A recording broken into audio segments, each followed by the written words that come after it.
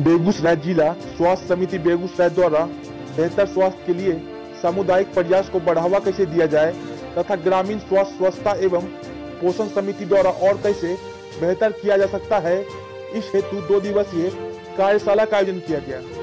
कार्यशाला में सभी प्रखंडों से हेल्थ और आईसीडीएस के बीएएचएम, सीडीपीओ सहित महिला पर्यवेक्षिका को बेहतर प्रशिक्षण देकर स्वास्थ्य के प्रति समुदाय के लोगों में स्वास्थ्य के प्रति जागरूक एवं सुविधाओं के बारे में बढ़ावा देना है। मौके पर मौजूद DPM Salan Chandra DCM Kunal Kumar ICDS DPO Rachna Singh Piramal से निधि गोपाल कृष्ण चौधरी, पीयूष विश्वास, मुग्धा, मोहम्मद वकील केयर से गुंजन गौरव, दीपेश राजपूत, टाटा ट्रस्ट के जिला प्रतिनिधि, अभिषेक आनंद सहित सभी प्रखंड की महिला पर्यवेक्षिका तथा प्रखंड सामुदायिक उत्प्रेरक एवं ट्रेनर के रूप में पॉपुलेशन फाउंडेशन ऑफ़ इंडिया के कर्मी मौजूद थे।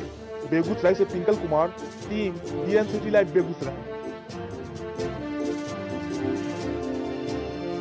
के मुताबिक यदि किसी चीज़ की ज़रूरत है तो उसमें आप प्रदेश के अध्यक्ष वार्ड सदस्य और मेंबर में आशा आंगनवाड़ी के लोग थे।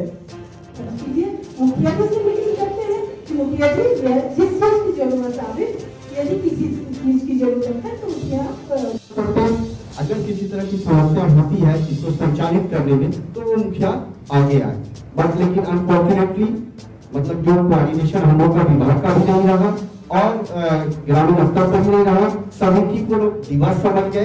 समिति का काम है कि जो टीकाकरण होता है या आईसीडीएस का काम होता है, या स्वच्छता का काम होता है, इसमें जो अच्छा काम हो रहा है, उसको आगे लाए और जो कमी है लोग जो बैठक करके उस कहानी को आपस में कोऑर्डिनेशन लेके और उस कहानी को कैसे पूरा करना है, उसके लिए सरकार एक बैंक से राशि दी थी, जो कि हम उस राशि का उसमें उपयोग सारे के सहमति से करें अनफॉर्चुनेटली ये नहीं हो पा रहा है। इसके लिए हम लोग कार्यशाला रखा है। धन्यवाद। और हम लोग ये दो दिन में ये समिति और अच्छे से काम करेगी।